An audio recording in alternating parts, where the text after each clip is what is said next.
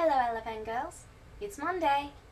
Now, you're probably used to seeing Emma here, but she's sick today, so I'm feeling. If you don't already know me, I'm Olivia. And no, I'm not actually British. But I figured since you're so used to hearing a British accent, I thought I'd try it. well, since I'm not really an LFN girl, I'm not used to making these videos. But I'd say today is totally normal because of this shirt.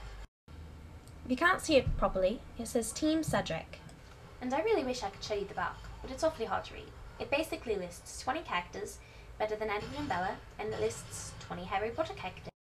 Now, yesterday I saw New Moon, and honestly, in terms of screenplay and the acting, for the most part, costumes, special effects, it was rather an amazing movie. But if you're talking plotline, well, let's just say I've always been a Harry Potter girl. Since I'd rather not bore you with all of my American nonsense, I figure that's kind of too bad.